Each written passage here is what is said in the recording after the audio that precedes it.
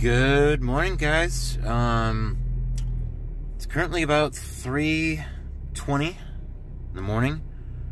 Getting going here for the Baxter trip. Uh, start to roll up. I got a five and a half hour drive for the rendezvous spot, and then we all uh, move on from there. But uh, uh, yeah, got about two and a half hours of sleep, two hours and 45 minutes of sleep. So lo- looking forward to uh, getting up there, getting settled um, getting to camp and getting a good night's rest tonight.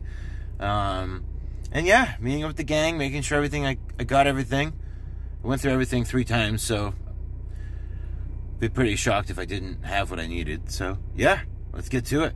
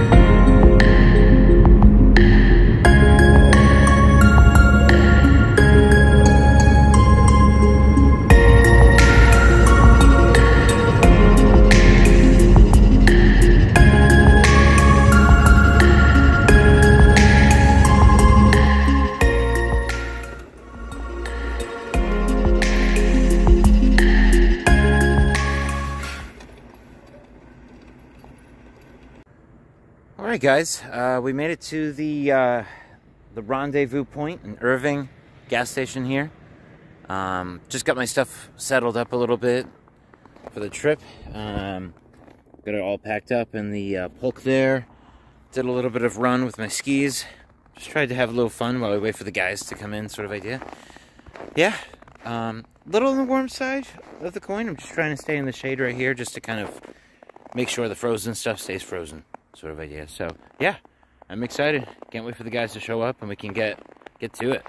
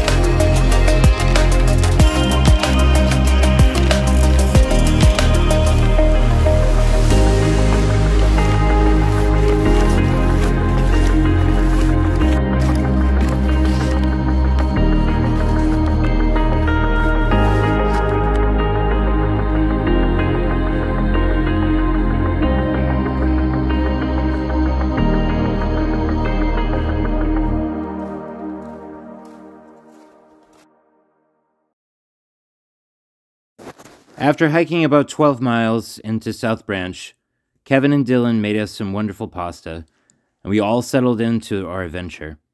We were very excited for what was to come, and we relaxed after hiking and putting so much effort in. Coffee.